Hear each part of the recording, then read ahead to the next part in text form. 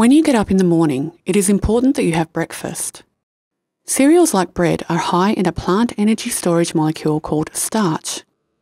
Plants make starch by joining glucose molecules together in a chain. When we eat starch, enzymes break the starch down into single glucose units, which enter the bloodstream and circulate around the body, reaching blood vessels of the pancreas. Inside the pancreas, glucose in the blood passes by beta cells in the islet of Langerhans. Beta cells recognise that blood glucose concentration has increased and respond by producing a peptide hormone called insulin. Insulin is hydrophilic. The increase in blood glucose triggers the beta cells to release their stores of insulin by exocytosis. So insulin enters the bloodstream.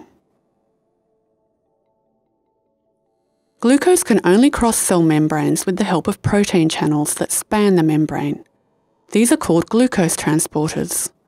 All cells have glucose transporters so glucose can enter the cell, where it is used as an energy source so cells can keep working.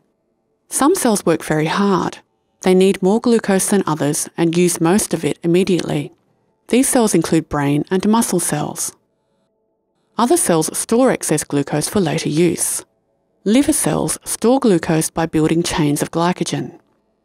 Fat cells convert glucose to lipids for storage if the liver is full. Muscle cells need a lot of energy.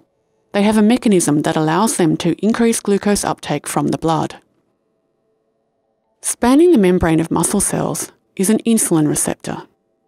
When insulin binds to this receptor, phosphates attach to the receptor inside the cell. This activates the receptor to recruit intracellular proteins that are in turn activated. This prompts another membrane bound protein to act as a second messenger. The second messenger moves to vesicles inside the cell that store glucose transporters. It switches off a protein that keeps these vesicles inside the cell, so they now move to the cell membrane where glucose transporters are inserted.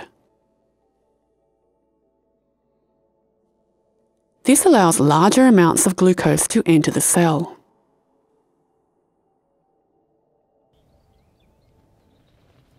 The blood glucose levels return to a set point.